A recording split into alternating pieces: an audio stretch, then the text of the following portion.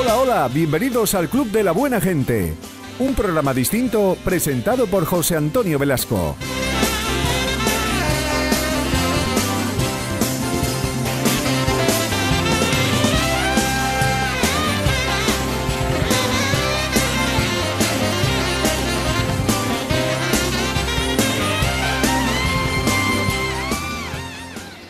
Hola, bienvenidos al club, al de la buena gente, en Canal Sierra de Cádiz. Hoy, mm, viernes 9 de junio, se celebra el Día Mundial del Síndrome Antifosfolípido. Y Alfonso Rodríguez, que reside en Arcos de la Frontera, aunque es de Ubrique, pero nos va a contar su experiencia con esta enfermedad. Igual entre la audiencia seguro que más de uno de vosotros y, y de vosotras estáis diagnosticados de este síndrome, ¿no? Pues, y os sentís identificados con él. Vamos a a escucharle para que nos cuente cómo se lo diagnosticaron, cuál es el tratamiento, qué estilo de vida lleva, en fin. Pues Alfonso, gracias por aceptar nuestra invitación y bienvenido. Gracias a vosotros. Bueno, síndrome antifosfolípido, que es así como se denomina. ¿Cómo sí, o, o, el diminutivo SAF, SAF en mayúscula. Eh, esto me lo diagnosticaron a partir de la trombosis que me dio. Hace dos años me dio una trombosis trabajando en un restaurante en Londres y, debido a esto pues me localizaron, mediante una prueba específica, me localizaron el SAF. El SAF eh, se da en un 70% en mujeres y un 30% en, en hombres.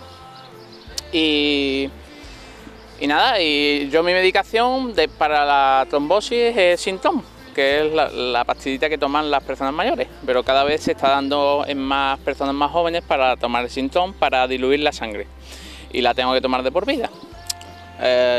este, SAF, digamos que es la enfermedad rara, mm, tiene para cada persona, mm, realmente eh, se está estudiando, pero no tiene, como no hay tantas personas en España ni en el mundo, eh, como tal, como rara que es, no hay tanto estudio y no hay tanto dinero para estudiar.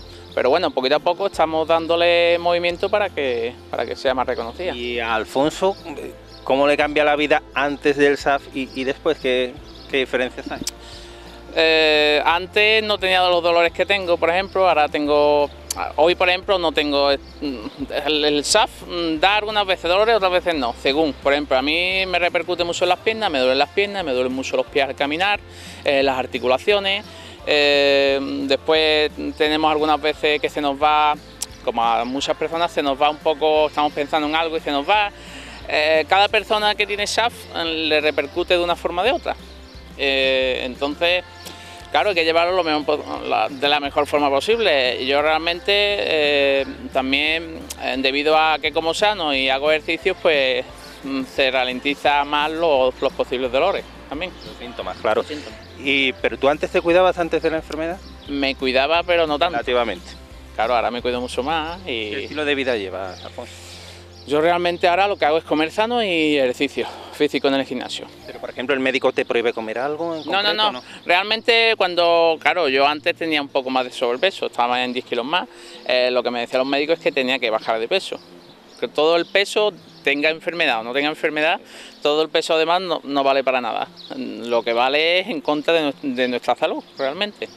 Entonces, para mí, para el SAF, eh, me, ha, me, ha sido, me está haciendo más leve la trayectoria, porque claro, ya esto es de por vida. ¿Y tú conoces más personas con el mismo síndrome? Sí, hay una asociación en España que se llama SAF España, se dice sobre todo no solo trombos, porque eh, aunque en mí se da, en, eh, yo tengo la trombosis, pero hay personas que no tienen trombosis, tienen un ictus, la da un ictus o, otro tipo de, causas que realmente tienen esta enfermedad. Y la página web de SAF España es safespaña con y.org para todas aquellas personas que se quieran informar. Esta web eh, no es de doctores, esta web está hecho sobre pacientes, es decir, que lo que hacen es asesorar, no van a a decir más allá porque ya eso depende de los doctores. ¿Y tú tienes que estar yendo continuamente a lo mejor a la consulta de tu médico, al hospital, llevas una revisión? Sí, yo llevo una revisión anual, ahora me toca dentro de dos semanas en, aquí en el hospital de Jerez y tengo que ir contándole los síntomas que voy notando durante el año, porque claro, después esto lo tendrán que apuntar para después ir estudiándolo y tal. ¿Tú tomas entonces cuántas pastillas al día? una pastilla. Ya depende del control. Ya el control del síntoma es como las personas mayores. Tienen que ir, le dan el punto en el dedo y sobre. Yo, por ejemplo, tengo que estar entre un nivel entre 2 y 3. Ayer, por ejemplo, estuve y me, da un, me dio un 2. Entonces, claro, como tiene que estar entre 2 y 3, pues te va mandando, al cada dos semanas, cada tres semanas tienes que ir para controlar el nivel. Entonces las pastillas son media hoy, mañana tres cuartos, pasado una, después, y así sucesivamente ya de por vida. Es algo crónico. ya es algo crónico, exacto. Y los dolores son crónicos. Y es curioso porque Alfonso, como veis, es una persona sumamente joven. Quiere decirse que la enfermedad puede aparecer a cualquier edad. Sí, a cualquier edad. Ayer precisamente hablando con el presidente de, la asociación, que es Gustavo Moros, que eh, me comentaba que también eh, en, el Hospital 12 de Octubre hay dos doctores que están estudiando un poco más sobre el SAF. Y dice que también se da en bebés, que ya es muy preocupante. Ahí es bastante preocupante. En bebés.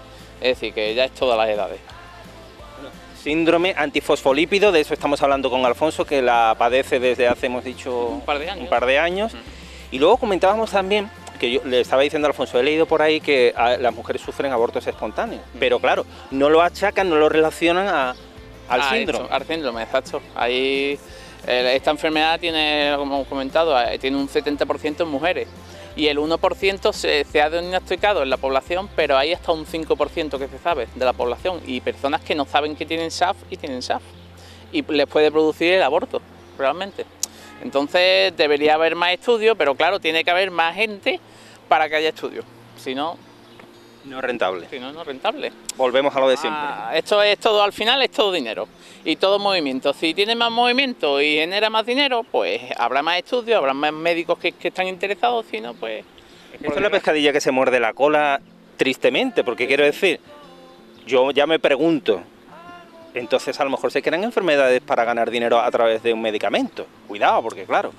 Claro, en el tema de medicamentos mueve mucho a nivel mundial, entonces ahí hay muchos intereses detrás. Bastante. Entonces el síndrome antifosfolípido es una enfermedad rara, con lo cual, como dice Alfonso, se necesita muchos recursos económicos para que se siga investigando como otras miles de enfermedades y que la vida de los pacientes sea pues relativamente liviana dentro de claro más liviana y tengáis más calidad de vida que es de lo que se trata pero claro como no interesa porque sois pocos pues si hubiera dinero de por medio, bastante dinero, pues claro, más médicos se interesarían, más personas se interesarían, habría más estudios.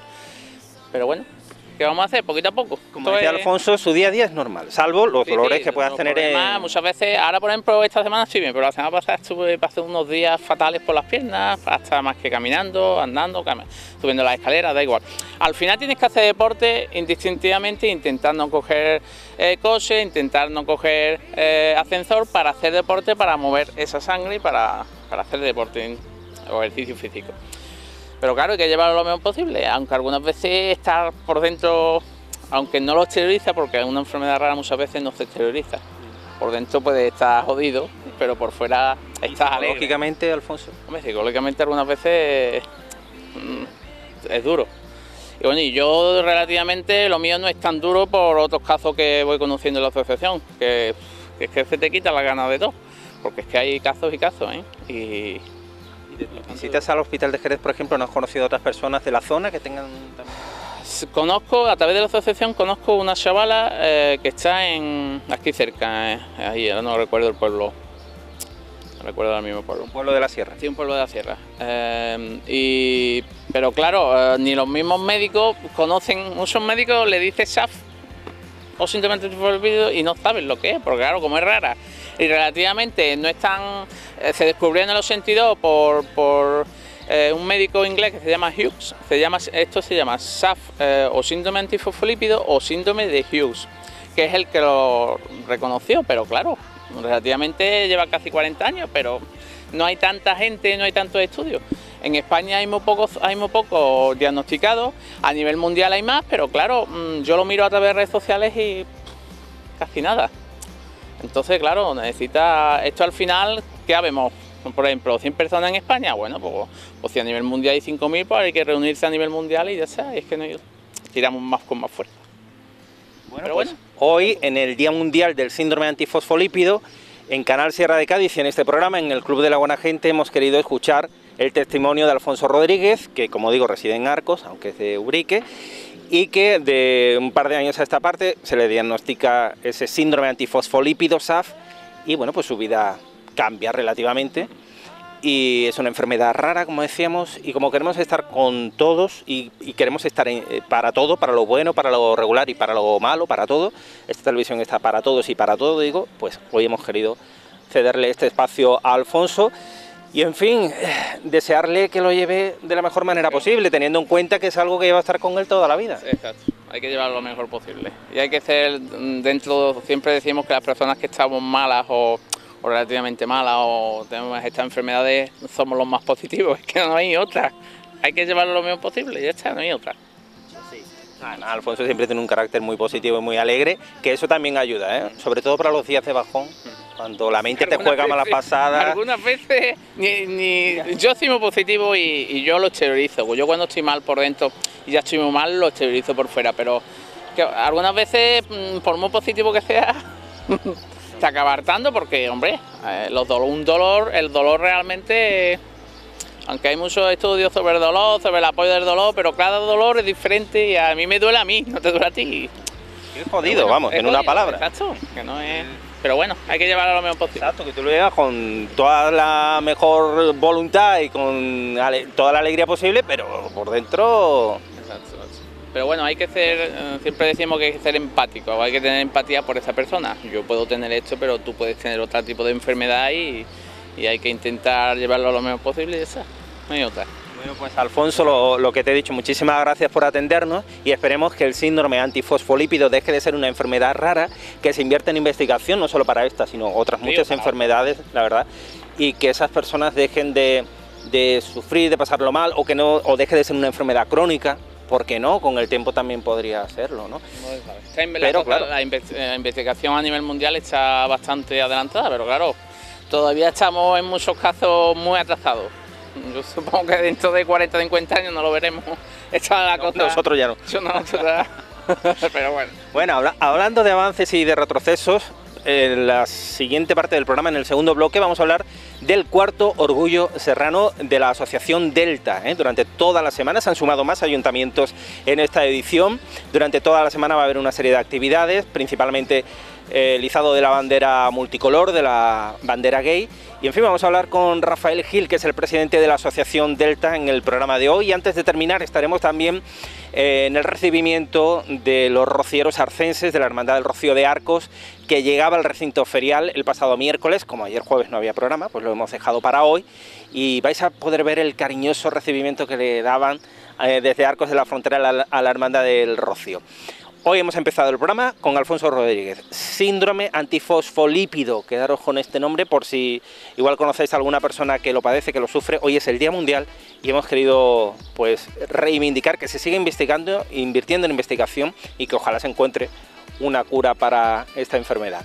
En un momentito seguimos y os recuerdo una vez más que estamos en redes sociales, Facebook, Twitter y también en nuestro canal en YouTube. Ahí podéis encontrar todos los contenidos del programa y toda la programación de Canal Sierra de Cádiz y con la mente ya puesta en el magazine de verano. ¿eh? Ya hay por ahí una promo anunciando que muy pronto nos vamos a poner a la sombrita, que es lo que ya toca, porque con estos días de calor es insoportable y vosotros también os vais a poner a la sombrita. Lo vamos a pasar bien este verano. De momento una pausa.